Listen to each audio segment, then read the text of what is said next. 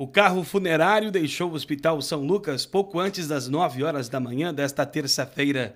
Do hospital, os profissionais seguiram diretamente para o cemitério Portal do Céu, onde ocorreu o sepultamento, que foi acompanhado apenas por alguns familiares. Observem que no carro da funerária, os profissionais estavam devidamente aparamentados, de acordo com os protocolos de morte por Covid-19, seguidos pelo município de Pato Branco. Infelizmente, o, os familiares nesse momento difícil não tem como se despedir adequadamente dos seus familiares, mas são regras sanitárias que a gente precisa seguir. Então, é, o caixão é lacrado e a cerimônia é, se limita a 15 minutos de uma cerimônia religiosa para a despedida do familiar. Não é possível velório porque as pessoas, os familiares, tiveram contato com esse doente. Então essas pessoas elas precisam ficar em isolamento. A nota oficial do Hospital São Lucas, assinada pelo diretor clínico, o médico Dr. Igor Chiminácio, nesta manhã de terça-feira, confirmou o óbito por coronavírus COVID-19. Conforme a nota anterior, já expedida pela Secretaria Municipal de Saúde de Pato Branco na noite passada. A nota esclarece que o paciente das iniciais AS era um masculino de 70 anos que estava internado em estado grave em regime de isolamento e CTI. Ele teve exame positivo para coronavírus na data de ontem, final da tarde, por laudo oficial do Laboratório Central do Estado. Era um quadro característico do coronavírus, né? o quadro era bastante suspeito. E ontem mesmo nós tivemos a liberação do resultado pelo Laboratório Central do Estado, que é um exame confirmatório então, é um exame que nós podemos confiar, documentando que realmente era um quadro, um quadro de coronavírus é, documentado e confirmado. É, a família foi comunicada já ontem, é, o paciente foi mantido em isolamento desde a internação, com todos os cuidados é, relativos ao coronavírus. E o corpo também é, necessita de alguns cuidados, inclusive a família já foi comunicada da, da necessidade de não realizar velório, né? então o corpo ele deve ser sepultado o mais breve possível. Em entrevista coletiva, ainda durante a manhã, a secretária de Saúde e o prefeito falaram sobre a primeira morte em Pato Branco. É preciso registrar aqui as nossas condolências à família, nosso profundo respeito a toda a família.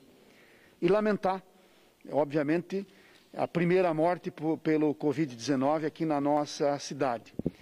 E a partir daí, né, os desdobramentos que teremos com relação às atitudes que teremos é, devido ao fato né, de que quando há uma morte já é, é, pelo Covid-19, nos leva também a ter é, outras medidas complementares às, àquelas que nós já vimos tendo.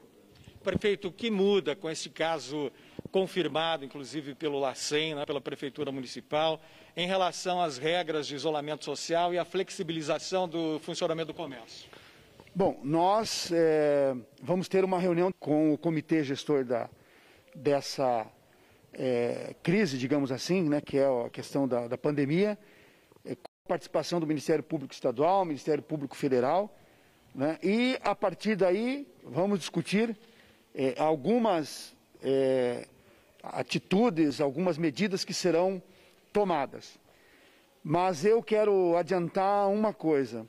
Né? Se, por um lado, né, o uso das máscaras é, está sendo feito é, de maneira satisfatória e nós temos que agradecer, por outro lado, a aglomeração das pessoas é muito difícil da gente é, evitar. A gente tem percebido isso. Né? Então, pessoas idosas também na rua, algo que a gente sempre pediu para que as pessoas permanecessem em casa, fossem preservadas, e que, lamentavelmente, né, nós é, tivemos esse, é, essa morte agora e precisamos reforçar as medidas nesse sentido. Nós temos dois hospitais, cada hospital tem 20 leitos de UTI, sendo 10 infantis cada um e 10 adultos cada um. Nesse, nessa perspectiva de expansão, nós colocamos mais 10 em cada que virá do Estado. Em que momento? No momento da necessidade. Então, o Estado ele adquiriu alguns equipamentos e ele tem priorizado alguma a nossa rede, né? Porque foi criada uma rede de assistência Covid.